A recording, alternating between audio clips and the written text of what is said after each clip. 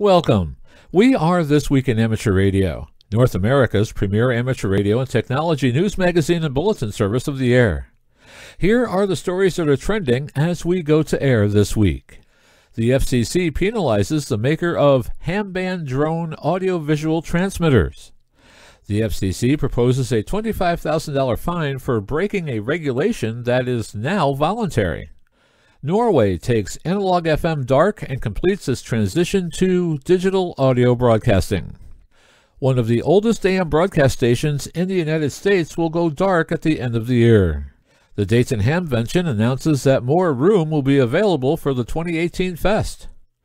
Amateur radio continues to provide communications for the California wildfires, and we are two weeks away from the launch of the ARRL's Grid Chase contest. Plus, Radio anniversaries abound in December, and we'll tell you all about them in this week's report. These headline stories will come to you in a moment, along with this week's special features. We'll visit with Bruce Page, KK5DO, and get an update from AMSAT and what's new with all of those amateur satellites orbiting the planet. Our technology reporter, Leo Laporte, W6TWT, will be here to talk a little more about net neutrality. Australia's own Onno Benschop, VK6FLAB, will be here to tell us a little about the J3E operating mode. Our own tower climbing and antenna safety expert, Greg Stoddard, KF9MP, will be here to tell us about waterproofing your coax connections. And the late Bill Baran, N2FNH, will be here with his annual reading of A Christmas Packet. All this and more are straight ahead in our Christmas edition, number 982 of North America's premier amateur radio and technology news magazine and bulletin service, This Week in Amateur Radio, takes to the air right now. Reporting from our snow and ice covered nondescript building here in beautiful downtown Albany, New York, where it is freezing rain, I'm W2XBS. And reporting from the heart of central New York, I'm Chris Perrine, KB2FAF.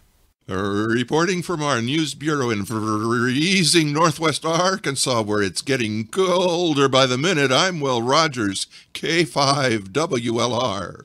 And reporting from the snow capped mountains of the New York State Catskill region, I'm Don Hulick, K2ATJ. Wishing you the happiest of holidays from our Central Florida News Bureau.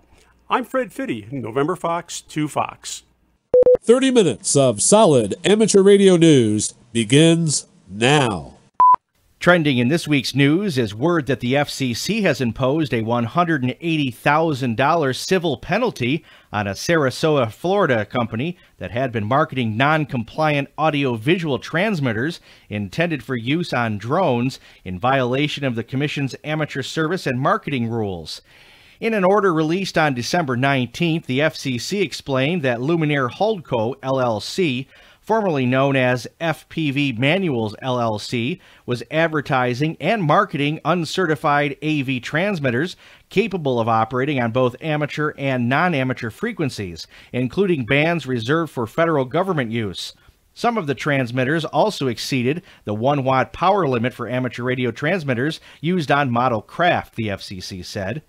Moreover, entities that rely on amateur frequencies and operating compliant AV transmitters must have an amateur license and otherwise comply with all laws for such operation, the FCC said in the order. The FCC said that while it generally has not required amateur equipment to be certified if it operates solely on amateur radio frequencies, certification is required if a device can operate outside of the ham bands. Last January, in what it called an extremely urgent complaint to the FCC, the ARRL targeted the interference potential of a series of audio video transmitters used on unmanned aircraft and marketed as amateur radio equipment.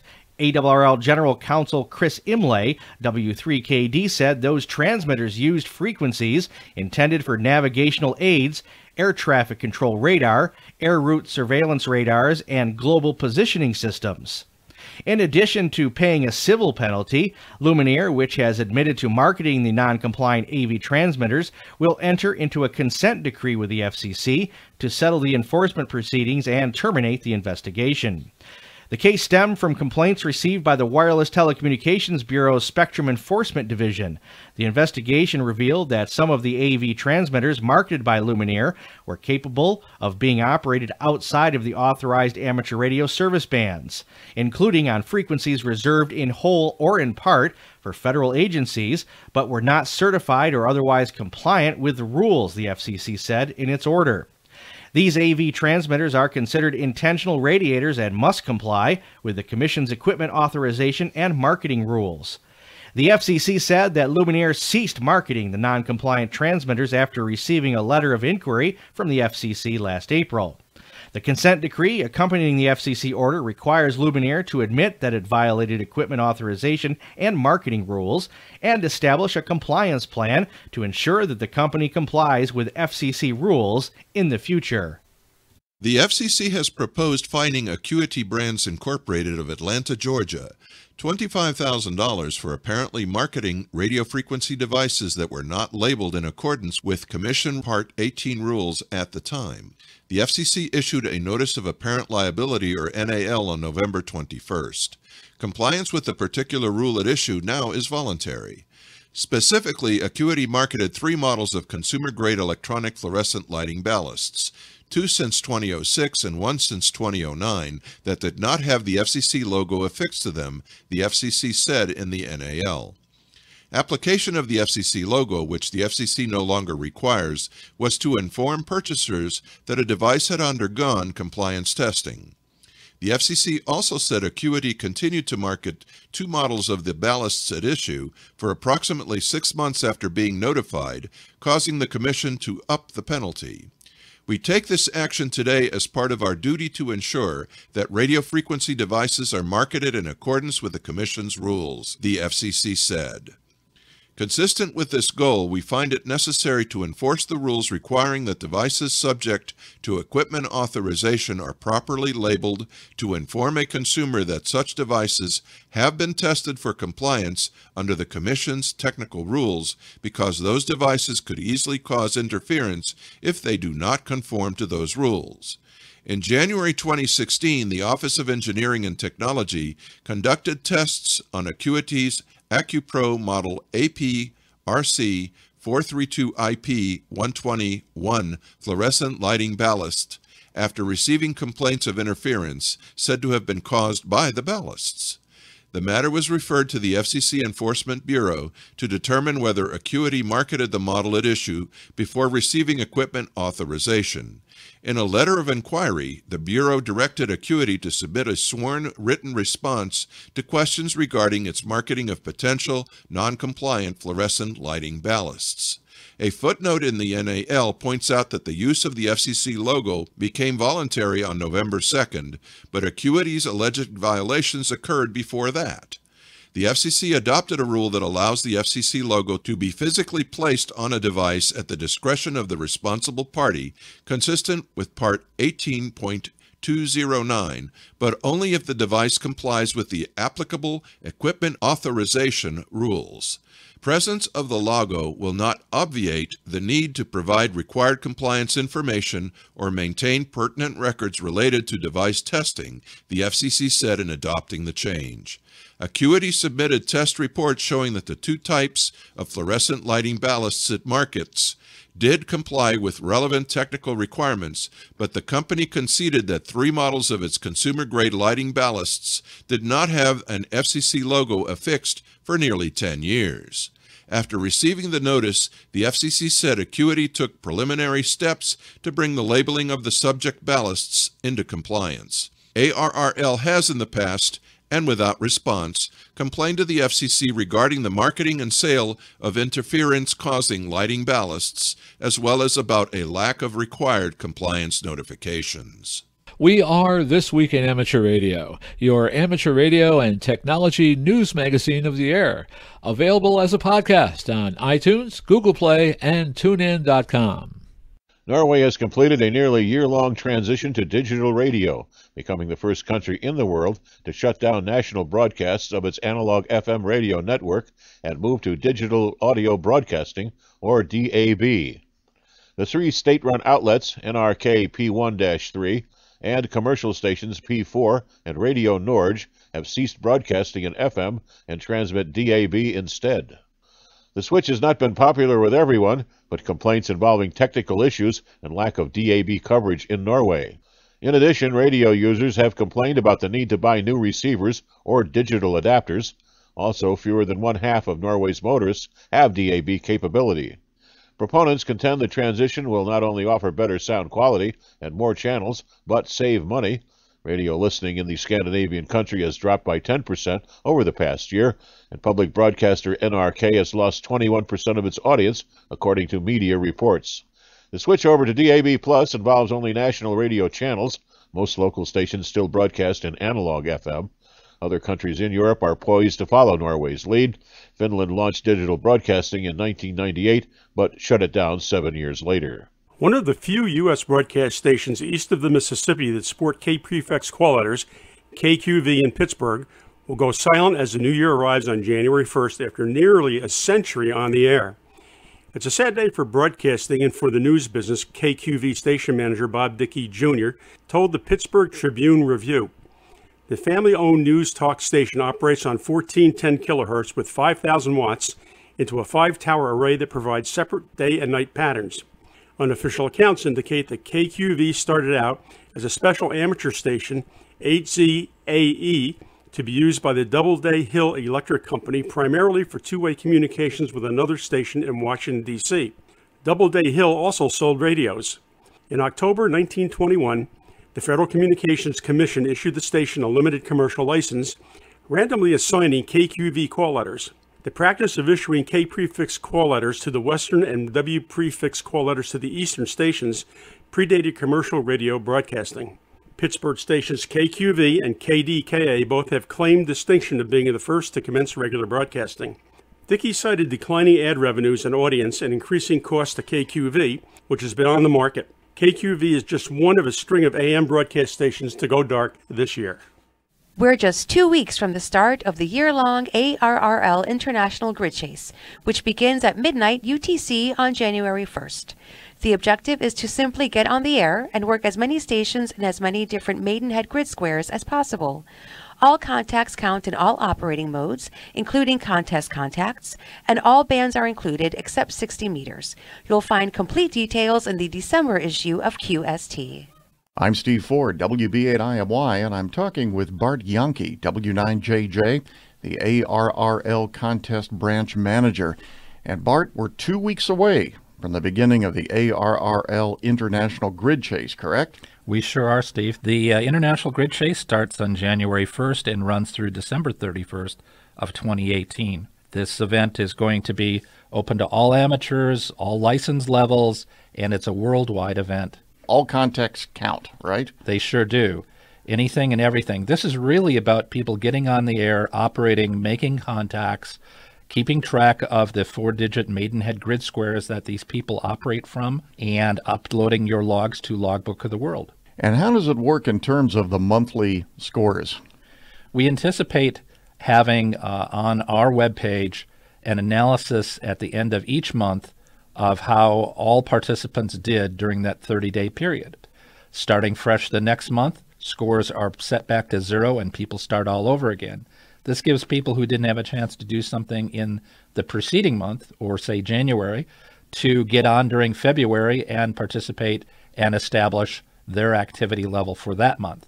Okay, so in other words, coming up at the end of this first month, at the end of January, everybody resets to zero, correct? Exactly. So they operate throughout the entire month of January, make as many contacts as they can, recognizing the various different grid squares that they've worked worldwide on any amateur band accepting 60 meters and on the modes of CW, phone, or digital. And uh, what about satellite contacts? Satellite contacts count as do moonbounce contacts. Oh, okay, but not terrestrial repeaters, correct? Not terrestrial repeaters. Aeronautical contacts don't count, but if you're uh, working somebody who's maritime mobile and they're using a GPS system to tell what digit, uh, four digit grid square they're located in, that counts. Now, what if I'm traveling just with my family and I take an HT along with me and I get off the plane, get in the hotel, and get on Simplex and make a contact?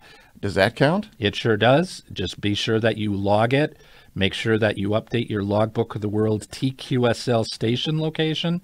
When you upload your log log to contacts, you just need to select the right station location. That TQSL record shows the grid square that you operated from.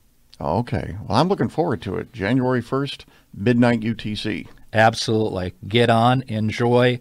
Doesn't matter what size station you have. You're going to have people with small stations and low power all the way to the big stations. They may be operating in a contest, might be casual operating. Everything counts because it's all about what you log in Logbook of the World. Very good, Bart. Thanks. Thanks, Steve. Hamvention reports that the Greene County Commissioners and the Greene County Fair Board have approved the construction of a new building at the Greene County Fairgrounds and Expo Center, the new Hamvention venue in Xenia, Ohio. Greene County officials have decided to move forward with construction of a new building as it will continue to expand their presence in the region as a world-class exposition center, Hamvention spokesperson Michael Kalter, W8CI said in a news release. Hamvention certainly benefits from the decision to expand the Expo Center's footprint. Construction is planned to be completed ahead of Hamvention 2018, and the new building will be used for the event. In addition to the new structure, another building on the property, previously known as Fairgrounds Furniture, is being vacated and will be available for use by Hamvention in May 2018. Additional details are forthcoming, Kalter said. Hamvention has been told that the additional floor space will cover an area larger than the tents Hamvention used for some activities in 2017. Although this decision was made to expand opportunities at the Expo Center, Hamvention is grateful for the support from Greene County, Xenia Township, and the City of Xenia, Ohio, Kalter added. ARRL members will see a change in QST Magazine when they receive their January issues this month. Several noticeable changes are being made to the journal's format, design, and size. QST editor and publications manager Steve Ford, WB8IMY, said research and member feedback over the last few years has hinted at significant shifts in media preferences within the amateur radio community, and that these changing preferences drove the changes to QST. Starting with the January 2018 issue, QST will sport a modern, eye-catching design and will be easier to read. The journal's page count has been reduced to 144 pages per issue, plus a smaller overall size to match publishing industry standards. Fewer pages will allow the editorial staff to focus greater attention on each issue's content, with an eye to developing more articles that readers want to see. Ford said League members have indicated a preference for articles that will provide practical, immediately usable information that will guide readers to new activities and will tell more about what radio amateurs are doing, with an emphasis on personal stories. This Week in Amateur Radio is heard on nets and repeaters all across North America and around the world on great repeater systems like the Benton County Radio Operators Club repeater system on 145.290 MHz and 443.025 MHz in Northwest Arkansas following the Thursday evening BCRO repeater system 7 p.m. net. You're listening to North America's premier amateur radio and technology news magazine of the air. We are This Week in Amateur Radio, distributed worldwide at twiar.net. The following item was recorded a number of years ago by Mr. Random Access Thought Bill Baran, N2FNH.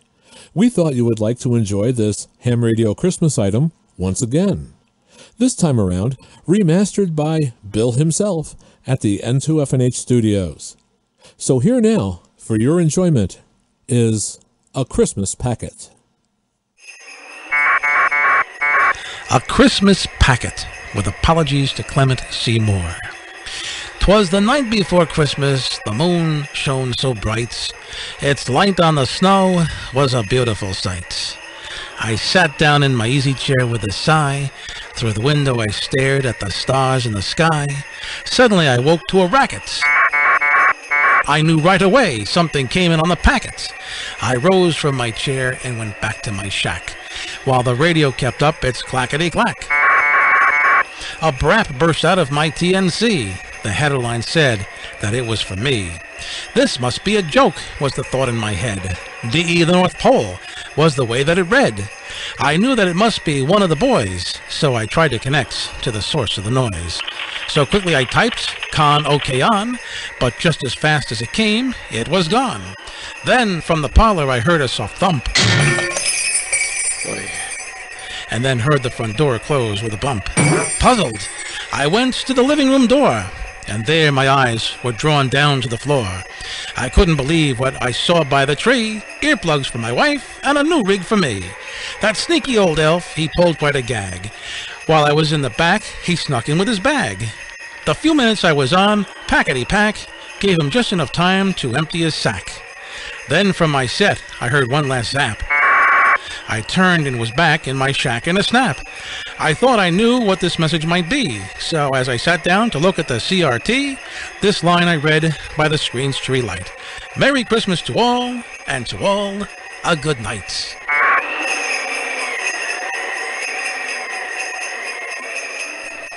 A Ham's Christmas by the late Walter A. Tompkins, K6 ATX. Twas the night before Christmas, and in the ham shack was the warm glow of tubes in the transmitter rack. The logbook was brought up to date with great care in case the FCC might someday be there. XYL and Harmonics were snug in their beds. No Tennessee Indians to addle their heads. I plugged in the mic and my new VFO, getting all set for a nice QSO. When from the relays there rose such a clatter, I yanked the big switch to see what was the matter. Then up on the roof, by the two meter beam, there came QRM like a heterodyne scream. On Gonset, on Babcock, on Viking, and Elmac, on Ranger, on Collins, on Heathkit, and Eimac. Bias to the grid and bolts to the plate. Just watch that S meter while we all modulate. As I turned on the rig and reached for a dial, from the antenna tuner, Santa slid with a smile. An RF choke he held tight in his teeth, coax encircling his head like a wreath. A bundle of ham gear he had flung on his back. Was that my name on a new power pack? He had a stub nose like an egg insulator, and his cheeks glowed bright red like a hot oscillator. He spoke not a word, but went straight to his work, laying out all the gear, then turned with a jerk. And laying a wave meter alongside his nose, said, Please, QSL. And up the feeders he rose. He climbed up that dipole. To his team gave a whistle. And away they all flew like a jet propelled missile. But I heard his last signal from the ionosphere 73! 88! And a happy new year. Since his start on December 4th, the massive and only partially contained Thomas Fire in Southern California by midweek had consumed nearly 240,000 acres, destroyed more than 700 single family residences, and threatens thousands more, and caused residents in fire threatened areas to evacuate. Amateur radio volunteers have been supporting communication for American Red Cross shelter sites in Ventura and Santa Barbara counties, passing traffic between evacuation centers. One of several fires that have broken out across Southern California, the Thomas Fire is far and away the largest. The Ventura County Auxiliary Communication Service Net activated on December 5th as smoke filled the air and the fire grew to catastrophic proportions, said Ray Smith, KI6VED, who volunteered with his wife Jade, KI6VFQ. Their home was included in an evacuation order. The worst night for the crew at Nordhoff came Wednesday, December 6th, when the fire surrounded the town of Ojai on three sides, Smith explained. The incident commander decided to shelter in place instead of trying to move 250 refugees out of the only open exit, which was sometimes closed. Smith told ARRL that several fire vehicles were dispatched to Nordhoff High School, a shelter site, taking up positions around the campus, and firefighters took guard by classrooms open to accommodate evacuees sleeping in their cars, some with their pets. They were warned that if the trucks sounded their air horns, they were to pick up the pet cages and run for shelter on campus immediately, Smith said. The flames moved east to west along Nordhoff Ridge, with an army of firefighters retreating before them. For a time, the radio operators, like everyone else, did not know what would happen to us. Smith said the fire passed within two miles of the shelter location. Radio amateurs also deployed to the Ventura County Emergency Operations Center. ARRL Ventura County District Emergency Coordinator Rob Hanson, W6RH, said the ACS ARES volunteers staffed four evacuation centers in addition to the EOC. Santa Barbara Section Manager Jim Fortney, K6IYK, told ARRL that an amateur radio digital network, ARDN Mesh Video Network, live streamed video from several sites. Loss of primary power has required using the solar power backup capabilities, but unfortunately, the heavy smoke has made that backup less than fully reliable, he said. In addition, some sites are down because of power outages, and at least one hilltop site was overrun by fire. In addition to power loss to repeater sites, solar panels charging off-grid batteries have been affected by the huge plumes of smoke blocking the sun. The Santa Barbara District ARES organization works closely with Santa Barbara County OEM and is prepared to support any requests as the Thomas Fire continues to burn into Santa Barbara County, Fortney told ARRL. The Fallbrook Amateur Radio Group and other groups in the North County, San Diego, provided communication at some evacuation centers, and the Red Cross activated its own amateur radio team.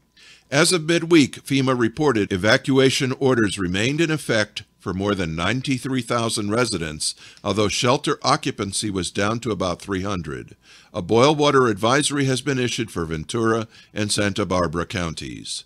Smith said that as of midweek, Amateur radio volunteers remain on duty in Santa Barbara County as the Thomas Fire has refused to die.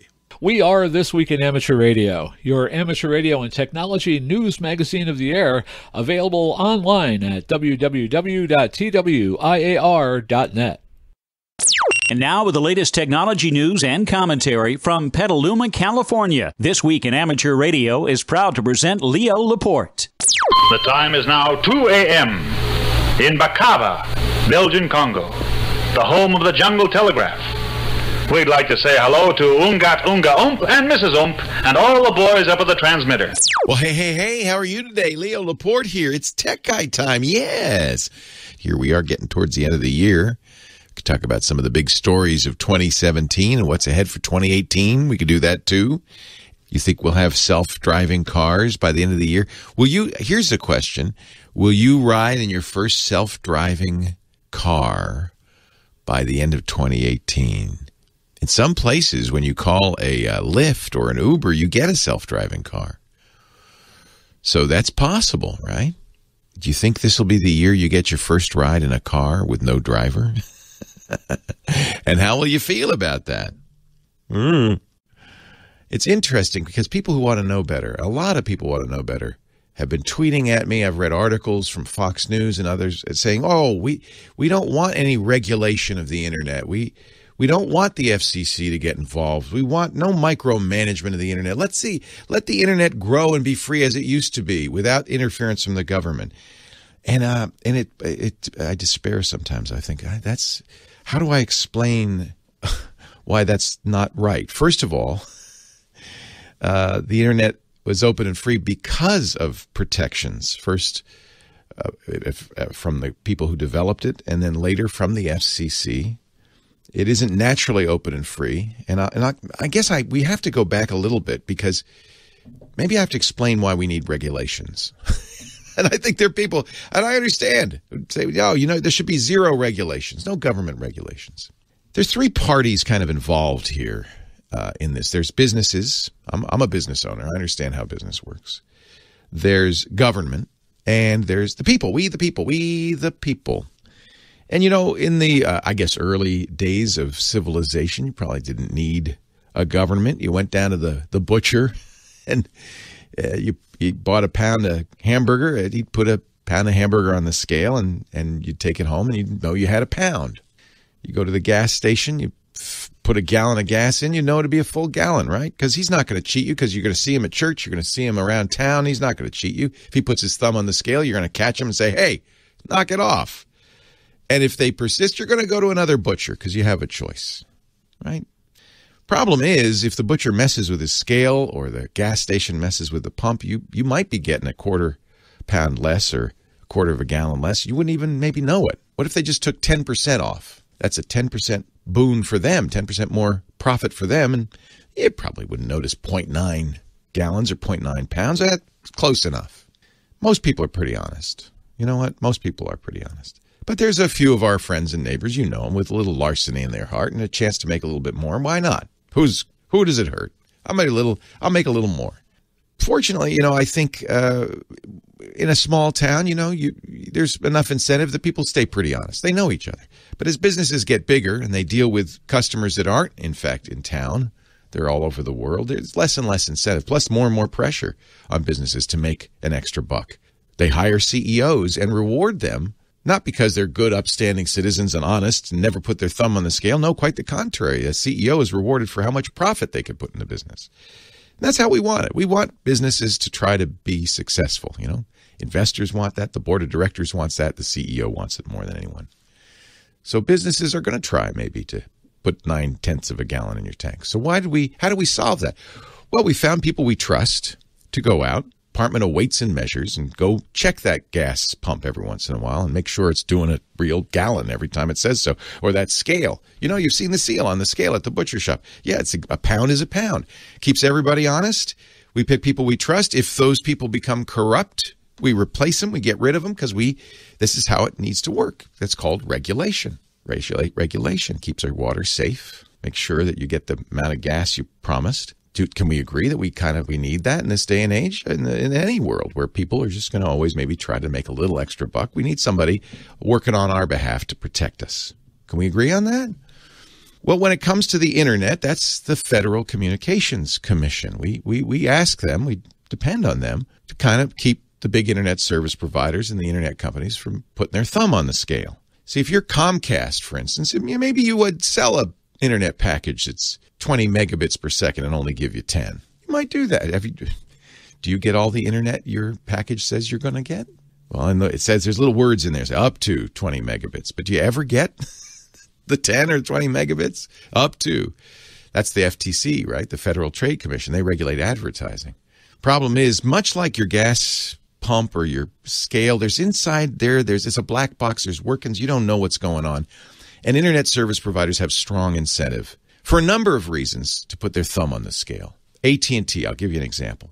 When FaceTime, Apple's FaceTime came out, AT&T saw this, and I understand why. Look at their business as a threat to their phone service. They do phone service, and all of a sudden people are going to use our internet service to make phone calls, so they blocked FaceTime. FCC said you can't block FaceTime. Fined them, and they stop blocking FaceTime. That's how it should work. That's why government regulation, in some cases, is very useful because it's a balance. It's a balance between we, the people, who want to get what we pay for, and companies who, and we set it up this way, and it's completely appropriate, try to make as much money as possible. But we need a referee. We need somebody in a striped shirt to say, yeah, no, that's not okay.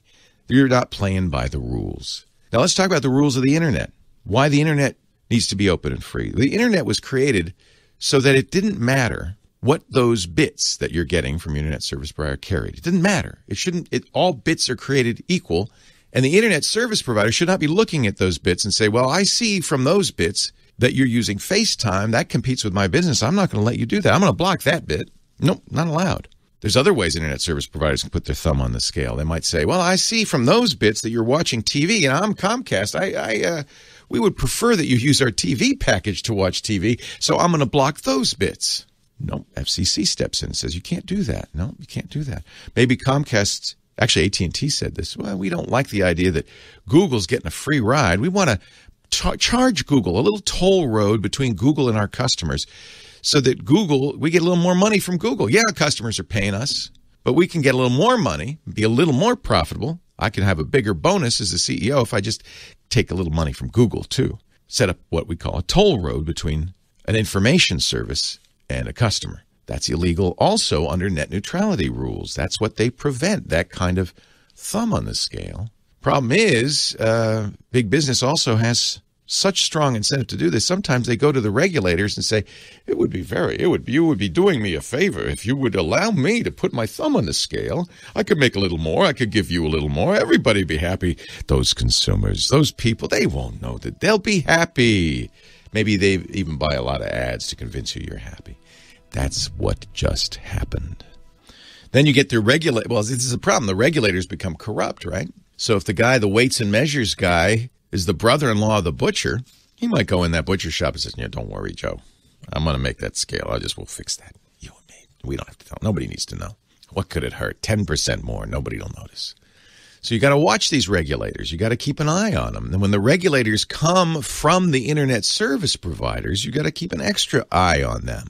When they're nominated and put in place by legislators who get big packs of money from the internet service provider, you kind of got to. Then the referee maybe isn't working uh, to keep it a fair system. That's why it's important, you know. And we got to keep an eye on the regulators because they're doing a job we need them to do, which is to keep it fair and it's really important for the future of this country that the internet be allowed to be free and open, that bits are bits, that there not be discrimination against bits, because you don't want Comcast, AT&T, and Verizon choosing winners and losers on the internet.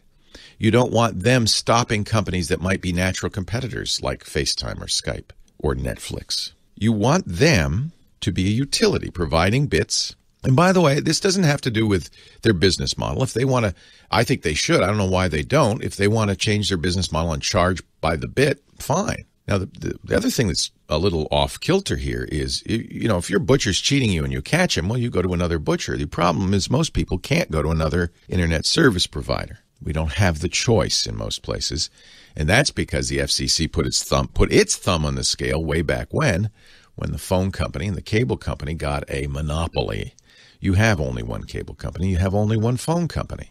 That's the FCC said. That's okay, guys, because it's so, you know, the cable company, the phone company said, it would you would be doing us a favor. It's very expensive putting in all those lines. It would if you want us to develop the phone system in this country or the cable system in this country, you really ought to give us a monopoly. And the FCC did it. They tried to put in rules.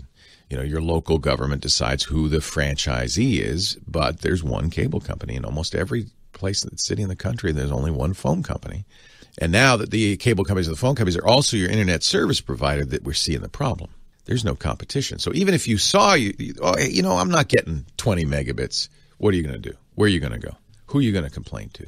The referees are owned by the cable companies. The monopoly, they have a monopoly. You, you got no choice. So, you know, at this point, we got to hope that the other referee system, there's a thing called the courts, this is why, by the way, the founding fathers created this system of kind of keeping an eye on each other called checks and balances. And there's there's really three branches of government, but I'll, I'll say there's four because you've got the executive branch, you've got the Congress, the legislative branch, you've got the courts, and the fourth estate, the fourth is the press. And the idea is everybody keeps an eye on everybody else, keep them honest. So it's not over yet. The, the executive has failed us. The FCC has tilted the playing field very much in the favor of these big internet service providers. But there's still hope because there's the courts and there's the press and maybe even Congress. We'll see. And I, you know, I should be honest. Let's be honest. Everybody should explain their conflicts of interest. I have a conflict of interest. I want the internet to be open and free because, besides doing this radio show, I'm also a podcaster. I make uh, internet, I make content, TV and radio shows that are distributed not through radio towers or over cable lines, but through the internet. And uh, I'm a little guy. I'm a small guy. I don't. I'm not YouTube. I'm not Netflix. Uh, but I want to be able to play in this space with as a small company. I can't afford to pay an internet service provider for access to you. I have to hope that they're going to open, keep their lines open and free to and all comers, and uh, and so that I can compete with Netflix. And frankly, I think we the people want that because that's how you get innovation. That's how you get the next Netflix and the next Google and the next Facebook what AT&T and Comcast are worried about. It's also might be how you get the next AT&T or the next Comcast. They don't like that one bit. So I have a dog in this hunt. I want an open and free internet because I that's how I do my business, and and I would hope that uh, you would hope to have the same thing too. Leo Laporte, the tech guy. We are This Week in Amateur Radio, your amateur radio and technology news magazine of the air. I'm Steve Ford, WB8IMY, and this is the propagation forecast. We have a single spot on the sun, and like the one we mentioned last week, this spot is extremely weak and no threat whatsoever, at least as far as flares are concerned. With the lack of sunspots, the solar flux index is hovering around 70, and that means the low HF bands remain your best bets for DX, at least for a while. Conditions on HF are fairly quiet in general and stable, but there is a surge of solar wind on the way and it might reach us by this weekend. When it does, expect some unsettled conditions at times on all HF bands. On VHF and UHF, Colorado, the upper Midwest, and Florida are seeing some tropospheric band openings. Look for these primarily on 2 meters. Foundations of Amateur Radio. This morning I spoke with two amateurs on air. Not that surprising since I was hosting a weekly net called F Troop for new and returning amateurs. Both amateurs came on air for the first time in our net. One licensed 60 years ago, the other six days ago. It didn't strike me until long after the net had finished that these two amateurs have a completely different experience in this shared community. One started in a world where megacycles were common. The other knows them as megahertz. One purchased their radio in parts, the other purchased it online. One heard Donald Duck sounds and needed to read about a new mode called single sideband. The other is going to be reading about digital modes and how they work. One was dealing with analog television interference, the other is dealing with plasma screens. Both these operators share many things. They are both licensed radio amateurs. Both have the opportunity to participate in contests, attain their DXCC, pull out a soldering iron, participate in social activities, and become members of their local radio club. If during their first year as an amateur, both of them read Amateur Radio Magazine, the members' periodical published by the Wireless Institute of Australia, they'd both find the rules and results of the Remembrance Day contest, field days, letters to the editor, instructions on how to build antennas, including detailed instructions on building a 2 meter Yagi, information from the QSL manager, DX activity reports, the new Australian call book, and information about the local news broadcast which continues to go to air on Sunday morning at 9:30 a.m. local time. In the intervening 60 years, amateur radio has changed a lot, but it's also stayed the same. A radio from 1957 will still be able to communicate with a radio from 2017. Imagine that for a moment. Electronics during those 60 years saw countless dramatic changes. For example, Fairchild Semiconductor, one of the pioneers in the manufacturing of transistors and integrated circuits, was founded in 1957. Imagine that the introduction and obsolescence of transistors within those 60 years. The first integrated circuit, built by Jack Kilby in 1958, was a phase shift oscillator consisting of one transistor and a handful of capacitors and resistors. Today, an integrated circuit contains 25 million transistors per square millimeter, with some chips being up to 600 square millimeter in size. That's 15 billion transistors. The mind boggles what has happened in those 60 years. But the most satisfying part of all this is that both these amateurs can come on air, join a net, and participate in the hobby today. If that's not a representation of an amazing hobby, then I don't know what is. Thank you to Sandy, Victor Kilo 6, Foxtrot Bravo Hotel Whiskey, and Brian, Victor Kilo 6 Delta Alpha Delta. A little while ago, I spent some time discussing how to test if your radio was on frequency.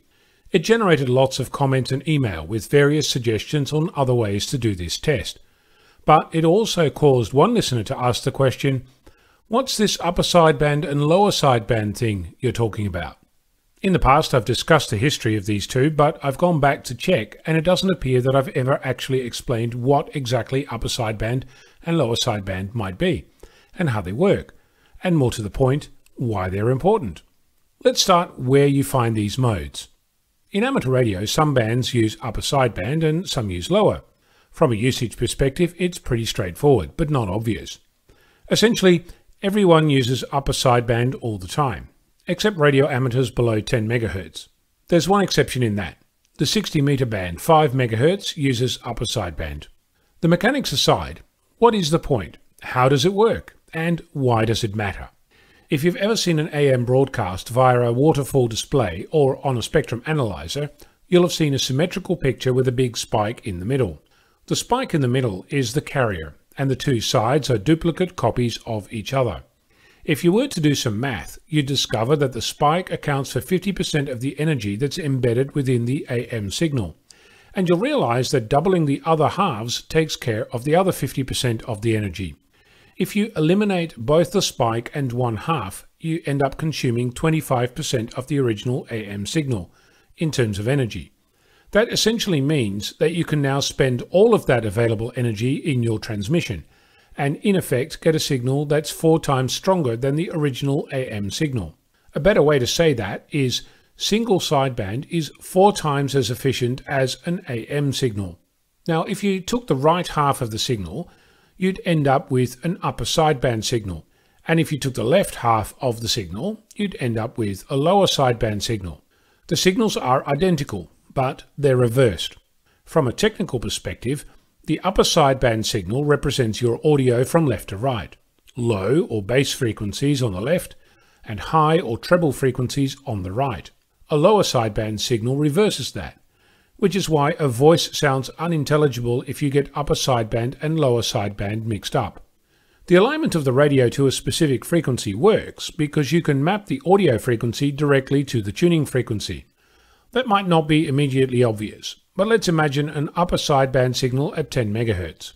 At exactly 10 MHz, the audio frequency of 0 Hz is represented.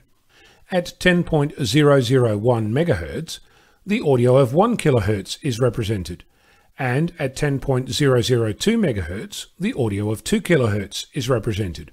If your radio is off frequency by say 50 Hz, then the sound you'll hear will be off by 50 Hz across all of those. So 10.001 MHz won't sound like 1 kHz, it will sound like 950 Hz. And 2 kHz will sound like 1950 Hz. On the other side, if you flip to lower sideband, 1 kHz will sound like 1050 Hz, and 2 kHz will sound like 2050 Hz. Upper and lower sideband, nifty solution, better signals, less bandwidth use, and all in all a great way to play with radio. Remember, everyone uses upper sideband all the time, except for radio amateurs below 10 MHz, but not on 5 MHz. I'm Onno, Victor Kilo 6, Foxtrot Lima Alpha Bravo. Vietnam War veteran John Nugent, WA2EQJ, got on the air for what likely will be his final time earlier this month, thanks to help from the amateur radio community. The 75 year old U.S. Army Signal Corps veteran, who has cancer, lives at the James A. Lovell Federal Health Care Center in North Chicago. Licensed since he was 16, he told a social worker at the facility that one item on his bucket list was to operate the ham radio one last time. Staffers at the facility got in touch with the Lake County Veterans Assistance Commission, and replies came from the American Legion Amateur Radio Club, the North Shore Amateur Radio Club, and Lake County Radio Amateur Civil Emergency Service, among others. He was just over the moon, social worker Alicia Benke told the Chicago Tribune. We had no idea we were going to pull it off. The various radio volunteers did, though, setting up an antenna outside the facility and a simple HF station inside. David Hartnett, K9DRH, and crew Don Whitney, K9DRW, James Nelson, K9QF, Harry Hahn, WB9R, and Scott Campbell, KC9SJP, were among those who made it happen. ARRL Illinois Section Manager Ron Morgan, AD9I, spread the word that WA2EQJ would be on the air. John is terminally ill and wanted to make some 20 meter radio contacts one last time. A post on the Lake County RACES page recounted. He had been in the Lovell Center for more than three years. Nugent volunteered to serve in the Army and was wounded during his Vietnam service. On December 5th, Nugent, with the help of his family members and Lovell Center staff, turned on his radio and workstations in California, Illinois, and Texas. After the contacts were in the log, Nugent's son Chris thanked the Lake County RACES and other volunteers who facilitated his dad's last wish. Among the stations Nugent worked was the special event station W9F, operated by members of the Fermilab Amateur Radio Club to mark its 50th anniversary of the National Accelerator Laboratory. We were able to add dying Army vet John Nugent, WA2EQJ, to the W9F special event log because of the rapid email alert from the ARRL Illinois section manager, notifying ARRL members that it was Mr. Nugent's dying wish to make a final radio contact. Micheline Prieskop, KC9ARP, told ARRL it was a truly touching and unforgettable experience. We are This Week in Amateur Radio, your amateur radio and technology news magazine of the air. Here's a subject most hams have had to deal with on towers, on the roof, or on the ground waterproofing coax connections. Let's look at the four most popular products I know of. The most commonly used product I know of is called Coax Seal. This stuff is sold on small rolls, about a half an inch wide and 60 inches long. It is easy to apply to clean and dry surfaces. At the size sold, one roll does not cover much except maybe one or two small connectors.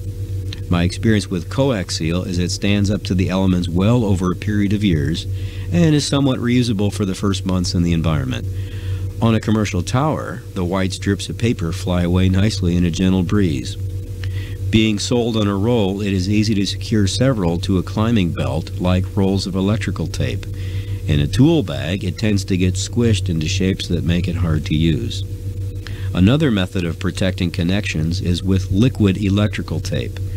This stuff is commonly sold in small, 4 ounce cans at the hardware store. These small cans are similar to those used for PVC cement and include a brush. This substance is similar to a solvent dissolved polymer, perhaps even rubber. Since it is kept in a liquid state with solvents, which evaporate when it applied or when the can is left open, you probably don't want to smoke while the can is open. After application with this product, the protective layer tends to be much thinner than with the wrap type sealer. This does make an excellent underlayer when using a wrap-on sealer. For ground level connections where repeated layers can be added, this stuff is both easy to use and a good value. Liquid electrical tape probably cannot be applied over coax seal, but it can be applied onto less than perfect surfaces. But again, clean and dry is best. According to the label, multiple layers can be added if you allow the stuff to set for about 5 minutes. Since it is sold in the can, it rides along in the tool bag but is easily dropped. Although I've only seen one, this one used a couple of times, some people still use electrical tape to seal coax connections. I do not recommend using electrical tape unless it is used as a cover over one of the wraps or brush-on sealers. Problem with electrical tape is it ages poorly when exposed to sunlight, moisture, heat, and more. It tends to start to unwrap over time, crack, or get brittle. When you've installed as many antennas as I have, you've probably read some mention of how thickly you can cover a connection before you mess up that antenna's ability to shed rainwater. So the bottom line on, on electrical tape is I will not recommend using it as a primary protective layer. The fourth method I know of is similar to coax seal on rolls. Some commercial climbers use insulation wrap for automotive air conditioner systems. There are lots of brands available, so you'll have to go to several auto parts stores to hunt for the really good stuff. This wrap is much wider and thicker than coax seal and comes on a roll just like coax seal. This is made to be wrapped on metal tubes coming in and out of automotive air conditioner compressors to reduce dripping of water, improve efficiency, and protect from the elements. Since it is made to stand up to the elements and is also cost effective, the only startup cost for you is doing the research and finding a brand and a supplier. There are lots of different kinds, so look for the one most like coax seal and test it on your own before using it on someone else's antenna. Oh yeah, there is one more similar to coax seal. It is sold in a toothpaste type tube. I've never used any, so I can't comment on how it holds up to Mother Nature or how it is to use. Remember, tower work at any height can easily become deadly. Clear, sober minds must be in charge. Money spent on books, videos, and climbing gear is well worth the investment. This is Greg Stoddard, KF9MP, reporting for This Week in Amateur Radio. A clash has occurred on 6 meters in Australia with the popular FT8 digital mode introduced in June 2017, nominating 50.313 MHz as a worldwide operating frequency already occupied by a propagation beacon. The Barossa Valley Beacon, VK5RBV, has been switched off to avoid interfering with stations running FT8. Mind you, VK5RBV has been operating for many years on 50.315 MHz, but the developers of FT8 have nominated 50.313 MHz as its operating frequency. The WIA Technical Advisory Committee is carefully looking at the matter and welcomes input as it looks for a new beacon frequency. The obvious choice would appear to be the band segment beginning at 50.400 MHz. This segment has already been adopted by IARU Region 1 as its new exclusive beacon segment, and it is logical for us to follow the same path. This may be a forerunner of similar clashes as more new digital modes come into use in the same part of the band. FT8 is also becoming popular on 2 meters and may be ideally suited on a group of spot frequencies recommended for modes of different bandwidths. The narrowband channel on 144.320 MHz is the logical one for FT8 in the WIA band plan, but it's noted that 144.313 MHz has also been used for FT8. The new digital mode of HF at weak signal levels, lower power levels, and almost any antenna is enabling a lot of contacts, but the trend on 6 meters seems to be used on high power levels. FT8 in its description has been designated for sporadic E propagation, where signals may be weak and fading. Openings may be in short duration, enabling fast completion of reliable QSOs.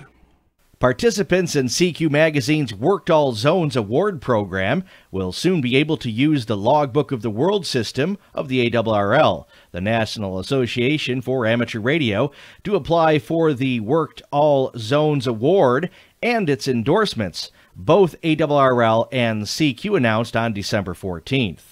Amateur radio operators will be able to use Logbook of the World logs to generate lists of confirmed contacts to be submitted for WAZ credit.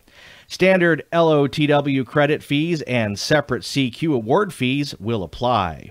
Implementation, documentation, and internal testing of the link between Logbook of the World and WAZ is complete. ARRL and CQ are now assembling a team of external beta testers to assure that the link is ready for widespread use. A separate announcement will be made when LOTW's support for CQWAZ is available to everyone. Logbook of the World is ARRL's electronic confirmation system for amateur radio contacts. It provides a confirmation when both stations in a contact submit their logs to the system and a match between the logs is confirmed. LOTW has supported the CQWPX award program since 2012. I am very pleased that the participants in the CQ Worked All Zones Award program will finally be able to use Logbook of the World confirmations in their applications for WAZ awards and endorsements, said CQ Magazine editor Rich Moseson, W2VU, adding that WPX program participants have made excellent use of this service for the past five years, and we look forward to providing it to WAZ program participants as well. We are excited about the prospect of supporting CQ Magazine's WAZ program through Logbook of the World, as it is something that many ham radio operators have been asking for, said Greg Widin, K0GW, ARRL's first vice president and chair of the Logbook Study Committee. We believe this partnership will enhance the amateur radio experience for many practitioners. CQ Communications Incorporated is the publisher of CQ Amateur Radio Magazine and is the world's largest independent publisher of amateur radio magazines, books, and videos. Worked All Zones is the second oldest active amateur radio award program behind the International Amateur Radio Union's Worked All Continents Award. And now, with his segment on working amateur radio satellites, here is AMSAT North America's own Bruce Page, KK5DO. Satellite operators are continuing to push AO91's footprint to the limit. Joel EB1AO and Mike W8LID completed a 5,955 kilometer QSO via the satellite this past week. The maximum elevation of the pass was just 0.9 degrees for Mike, and the QSO was made at 0.5 degrees on his end. Who will be the first to complete a 6,000 kilometer QSO? The theoretical maximum range is 6,072 kilometers. Visit AMSAT.org for the distance record page and complete list of all satellite records.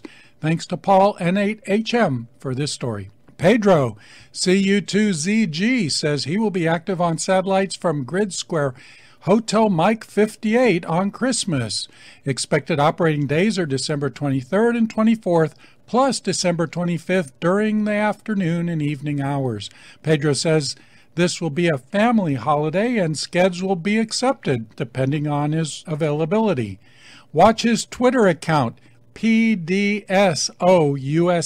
for updates. Thanks, Pedro, for the heads up. This is our last report for 2017.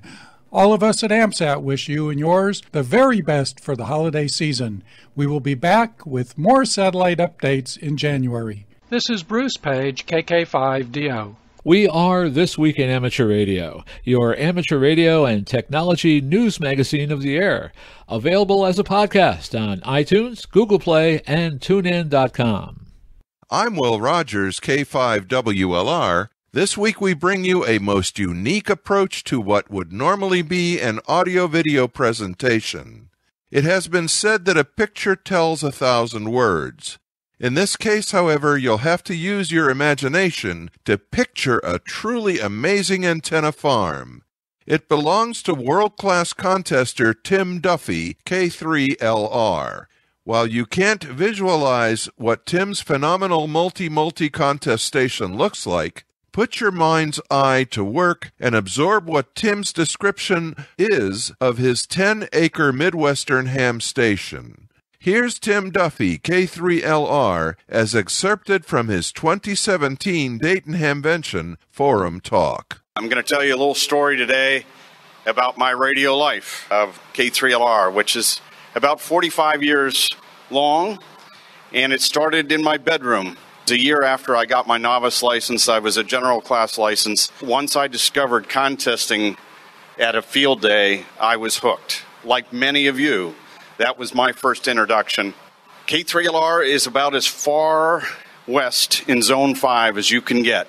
It is right up against the Ohio Pennsylvania border, equidistant between Cleveland, Pittsburgh, Akron, and Erie, Pennsylvania. It's exactly one mile away from the border. And the northern part of the property happens to front on Interstate 80. Back in 1991, I got a knock at the door, and it was RA3AUU. This was just when uh, the Russians started to travel over here for Dayton, and I was stunned to see a Russian at my door, and I couldn't tell my neighbors at that point. Actually, UA3AB was with him too. It was a good time. But over the years, many people have stopped to say hello on their travels on Interstate 80. One of the things that makes this QTH work is how the drop off occurs. And I did not know this when I bought the property. I bought the property back in 1987. Things like HFTA were, were not around. But there was a famous DXer that lived in the Pittsburgh area. Some of you may remember W3CRA.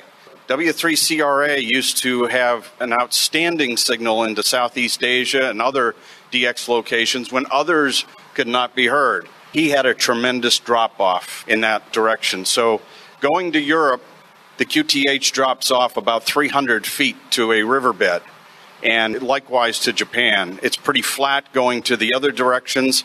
It's not particularly high, but it is that 300 foot drop off that is the real secret to the fact that we do well to Europe and Japan. There are 13 towers. Eight of the towers comprise the 80 meter vertical array. This station was built over that period of time from 1987 through today and multi multi since 1992. Tom talked about receiving arrays being very important. They're vital to the health of a, a multi multi that wants to have two radios on a band. We have two full size four squares that you would use to transmit on. One is for 10 and one is for 20 meters. They look weird because they're very small in their footprints but they are very effective for the second station to hear while the CQing station is on the air. There's a 160 meter five element array. That's a three element vertical Yagi that has been featured in the ON4UN book, the last three editions. It has 5 dB of gain off the front of it and about 30 dB of front to back. There are a pair of 80 meter four squares. These are full size elements, broadside on Europe, and it's just like stacking Yagis. You get 3 dB more gain. And then the, the tall tower is the 40 meter tower. The top antenna is at 275 feet. In the middle of the property is the 15 meter run stack. That's a, a stack of four seven element Yagis. And then the 10 meter four high stack is on its own tower, 32 elements. And then the second tallest tower is the 20 meter tower, which has its top antenna 245 feet. So let's take a look at some of the hardware. This is the 40 meter tower. It has three full size four element OWA Yagis that WA3FET designed. And it has four 10 meter antennas on it. It has two 20 meter antennas on it. It has a 160 meter horizontal Waller flag on it, 138 square feet of wind load on one tower.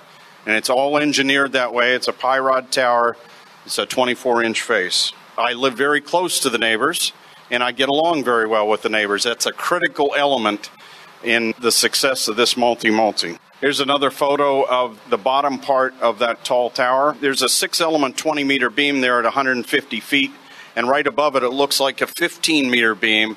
That is the pair of Waller flags that are horizontal. This is the N4IS top beam antenna at 165 feet, and sometimes that is the best receiving antenna for 160 meters. It's not always. We have a lot of different antennas for 160 to receive on, but this has been a, an effective antenna at times. I'm a big fan of ring rotors. I have a lot of TIC ring rotors as well as some K0 XG ring rotors, but all but one Yagi is mounted on a ring rotor on the side of the tower. The top antennas are rotated with K7NV prop pitches. This is the 20 meter tower. The 40 meter tower and the 20 meter tower both have FAA lighting and painting because they exceed the 200 foot limit.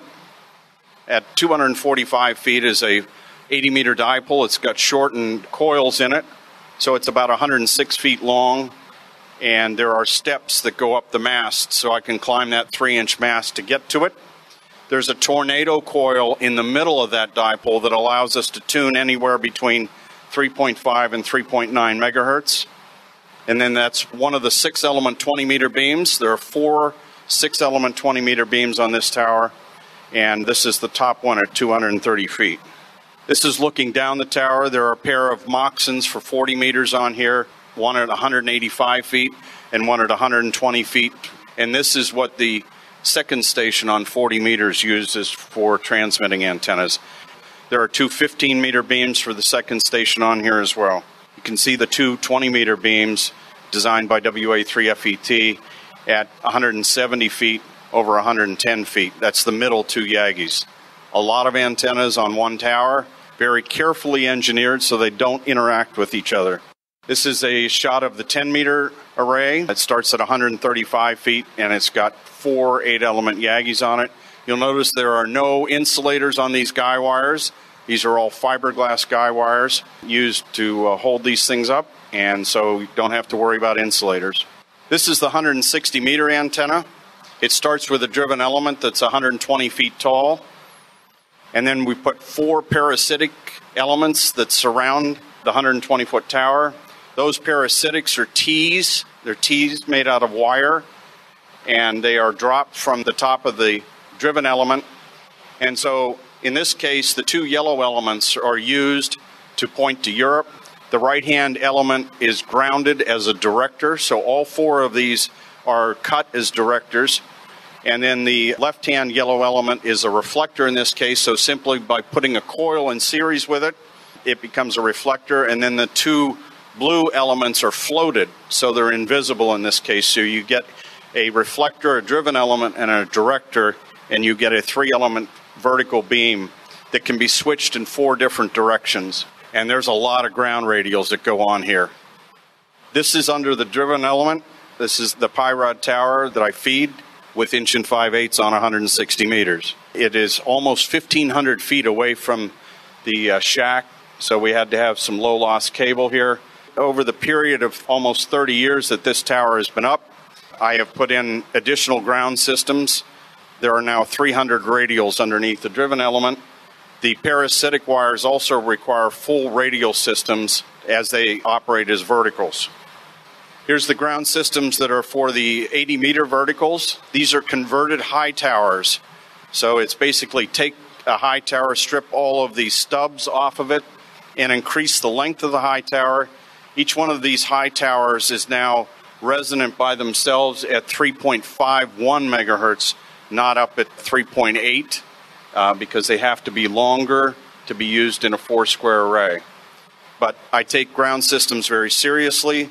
When I was in high school and starting out in college, I was a broadcast engineer and fortunately got to learn a lot about creating ground systems, and that's what I used to build these. Here are the four verticals in the center of the array. My good friend uh, Greg Ordy, W8WWV, has spent many weekends helping me tweak and tune these arrays. This is the 20 meter four square that we use exclusively on the second station on 20 meters.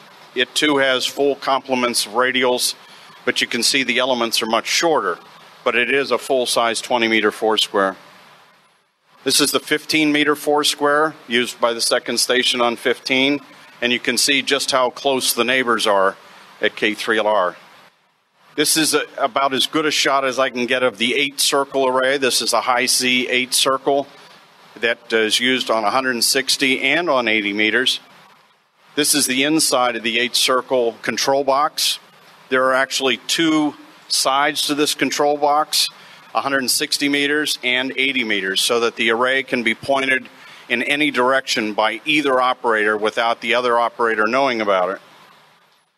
There's also a full complement of chokes to make sure that all the feed lines going to all the elements are choked cold. There is a modification to the Hi-Z preamps that I made that we do not deliver DC power through the same cable that we receive the signal on. So there are also a full complement of chokes for the DC power as well. Basically, this array goes dead cold once you get above 4 megahertz so that it can survive in a multi-multi transmitter environment. This Hi-Z 8 circle array has replaced all the beverages at K3LR and it has worked out very well for us. This is the front of the K3LR house. This house was built in 1865. It was not the house that impressed me when I bought this place, it was the land my very good friend and multi multi mentor, Frank Donovan, had 10 acres, and this was 10 acres, and I said, I'll take it. But through the years, we've modified the house. I did not know when I bought the house that it did not have heat upstairs, and certainly things like electric and water and gas have all been added since the house was built. We have our own 50 kW transformer from the Pennsylvania Power Company. When I originally started operating multi multi, I was sharing a transformer with my neighbor. It was 15 kW. And once Sunday came around, you could see that the line voltage was starting to sag. So the power company was very nice and put in our own 50 kW. In case that goes away, we have our own Chevy V8 Kohler 50 kW natural gas generator. These radio contests are serious things, and if we lose power, it doesn't mean that W3LPL and WE3C go off the air. So we have to make sure that we can be back up, and this brings us back online in 10 seconds. This is a shot of the radio room. When I built this radio room, I thought it might be single op and maybe some multi singles. And my very good friend Scotty N3RA said, Why don't we try multi multi? And so, in a 30 foot by 30 foot room, we have 11 operators, 11 operating positions, two for each band 80 through 10 and one on 160.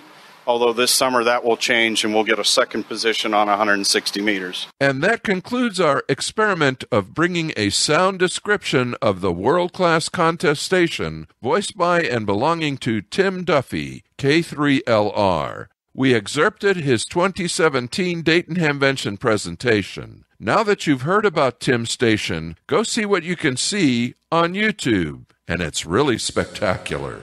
We are This Week in Amateur Radio, your amateur radio and technology news magazine of the air, available online at www.twiar.net. Each year, the residents of McMurdo Station, Antarctica, celebrate Christmas by singing and sharing Christmas carols via HF using a non amateur radio frequency just above 40 meters for those at the remote Antarctic field camps. They'll be doing it again in 2017 on Saturday, December 23rd at 2300 UTC. Multiple stations are involved, each with different equipment, explained Nathaniel Frizzell, W2NAF, an assistant research professor at New Jersey's Institute of Technology, who has been part of the chorus in the past. McMurdo Station and South Pole Station probably have the most powerful equipment. Field camps and remote stations could be calling in with systems that put out as little as 20 watts. Frizzell said McMurdo Station would serve as net control of sorts to coordinate the various broadcasts, which will include a small choir and vibraphonist John Piper at McMurdo. Other camps and South Pole stations each will have a chance to chime in. This year, we'll be asking ham radio operators around the world to listen and email shortwave listening reports to tell us how far away the carols are heard, Frizzell said. The last time I did this, almost all the positive QSL reports were from South Pole Station. The broadcast will take place December 23rd at 7995 kilohertz USB at 2300 UTC, which will be Christmas Eve in some parts of the world. Frizzell requests reports via email for a Christmas in Antarctica SWL QSL card. Send an SASE to his home address. A YouTube recording offers a sample of last year's transmissions. A graduate of Virginia Tech, Frizzell started the HamSCI, Ham Radio Science Investigation, sponsored the Solar Eclipse QSO party this past year at NJIT. He works in the Center for Solar Terrestrial Research. The 2015 recipient of the prestigious William R. Goldfarb Memorial Scholarship, Jacob Nunez Kearney, KF7DSY of Mesa, Arizona, will interrupt his matriculation at Purdue University to accept an internship this spring at NASA's Johnson Space Center in Houston. This is an amazing opportunity that has been many years in the making that I have decided to accept, Nunez Kearney told ARRL. He will return to Purdue the following fall, and because he already had college credits when he started his freshman year, he should still be able to graduate in four years in 2019. He remains a full-time student during his internship. A graduate of Desert Ridge High School in Mesa, Nunez Kearney is pursuing a career in aerospace engineering. The ARRL Foundation administers the Goldfarb Scholarship, which is the result of a generous endowment from William Goldfarb, N2 ITP Silent Key. Before his death in 1997, Goldfarb set up a scholarship endowment of close to $1 million in memory of his parents, Albert and Dorothy Goldfarb. It is awarded to one high school senior each year. The South African Radio League will host the 2018 Youngsters on the Air Summer Camp, although in this case it will become the YOTA Winter Camp as it's being held in the Southern Hemisphere. The International Amateur Radio Union Region 1 Executive Committee and its Youth Working Group Chair Lisa Leenders PA2LS, have accepted and approved SARL's proposal. The annual event brings together young people from Region 1 and elsewhere for a week, creating an opportunity to learn all about different nationalities and cultures, foster international friendships and goodwill, and learn new amateur radio skills. The SARL and the South African YOTA Working Group are delighted with the response, and we are looking forward to hosting a successful YOTA 2018 event as an unforgettable African experience that will be remembered for many years to come, Sarl said in announcing the 2018 YOTA Camp. Dr. Gary Immelman, ZS6YI, will serve as patron of the event. Sarl President Nico van Rensburg, ZS6QL, conveyed his appreciation to the YOTA Working Group in South Africa for its successful proposal. He said hosting the 2018 YOTA Winter Camp would be a golden opportunity for Sarl and for amateur radio in South Africa to make their mark in promoting amateur radio amongst younger generations. This past August, 80 young people attended YOTA Summer Camp in England, sponsored by the Radio Society of Great Britain. Two young amateurs from the U.S. attended the 2016 YOTA Summer Camp in Austria. Every day is a good day to send CW, but January 1st is reserved for Straight Key Night, sponsored by the ARRL. Enjoy CW as it has been sent and enjoyed since the earliest days of amateur radio. The 24 hour event begins at 0000 UTC on January 1st, New Year's Eve in the U.S. time zones. It is not a contest, but a day dedicated to celebrating amateur radio's Morse heritage. Participants are encouraged to get on the air and enjoy conversational CW contacts, preferably while using a straight key or a semi automatic key. No points, everyone's a winner. Submit your votes for Best Fist and Most Interesting QSO. The First Class CW Operators Club sponsors a concurrent event, FOC Bug Day. FOC asks participants to send a description of the bug or bugs used, a list of stations worked, and a vote for the best bug fist heard to FOC Bug Day manager Benny Owens, K5KV. AMSAT will sponsor its second annual Satellite CW Activity Day on January 1st. This year's event is dedicated to the memory of Pat Gowen, G3IOR. No rules, just have fun. Operate CW through any ham radio satellite. The use of straight keys and bugs is encouraged, but not required. And finally, this week, December is the month in which three notable events in radio history occurred. The first radio transmission heard across the Atlantic Ocean in 1901, the first broadcast of the human voice and music in 1906, and the first successful transatlantic amateur radio HF transmission in 1921. Here to tell us more about these historic events is Carla Pereira, KC1HSX, reporting from League headquarters in Newington. On December 12, 1901, Italian wireless pioneer Guglielmo Marconi succeeded in receiving the first transatlantic radio signal transmitted from Poldhu in Cornwall, England, to St. John's, Newfoundland, Canada. On Christmas Eve 1906, experimenter Reginald Fessenden made what may have been the first radio broadcast to include speech and music. As he's done in years past, Brian Justin, WA1ZMS of Forest, Virginia, will commemorate that first audio broadcast by operating WI2XLQ on 486 kHz this month, marking the 111th anniversary of Fessenden's accomplishment. Historic accounts say Fessenden played the violin or a recording of violin music and read a brief Bible verse, astounding radio experimenters and shipboard operators who heard the broadcast.